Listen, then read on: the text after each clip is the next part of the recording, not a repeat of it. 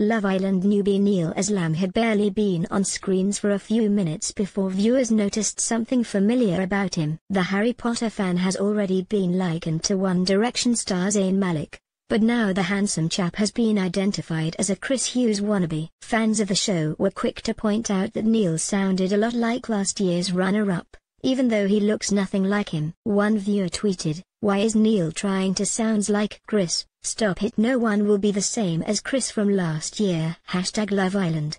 Another said, does anybody else think that Niall sounds exactly like Chris from last year's Love Island? But Niall wasn't the only Islander on the current series who was identified to be channeling former contestants. Love Island is definitely trying to replace last year's contestants.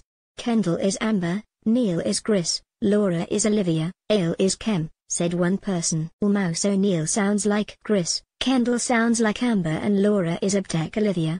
What a coincidence said another. Okay.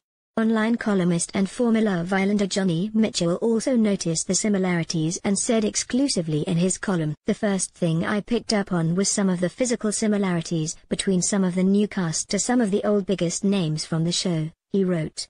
A few little comparisons to make appearance-wise which I picked up on are that Jack Fincham looks like Nathan Massey, Laura Anderson like Olivia Attwood, Kendall Rae-Knight like Kady McDermott and Dale Booker shares a striking similarity to Kem Cetinay.